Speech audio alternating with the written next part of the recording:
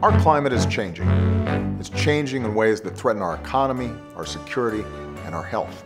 This isn't opinion, it's fact, backed up by decades of carefully collected data and overwhelming scientific consensus. And it has serious implications for the way that we live now. We can see it and we can feel it.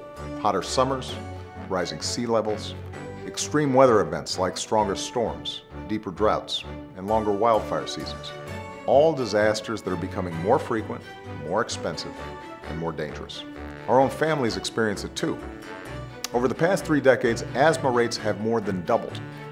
And as temperatures keep warming and smog gets worse, those Americans will be at even greater risk of landing in the hospital.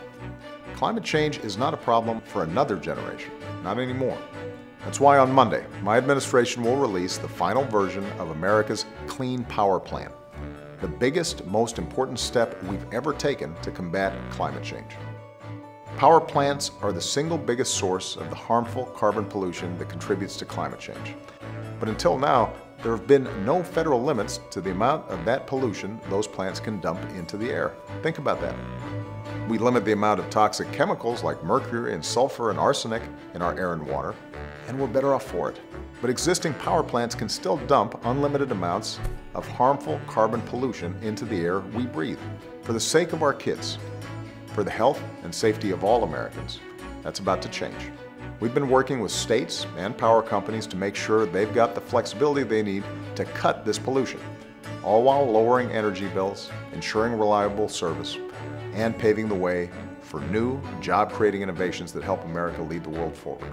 If you believe, like I do, that we can't condemn our kids and grandkids to a planet that's beyond fixing, then I'm asking you to share this message with your friends and family.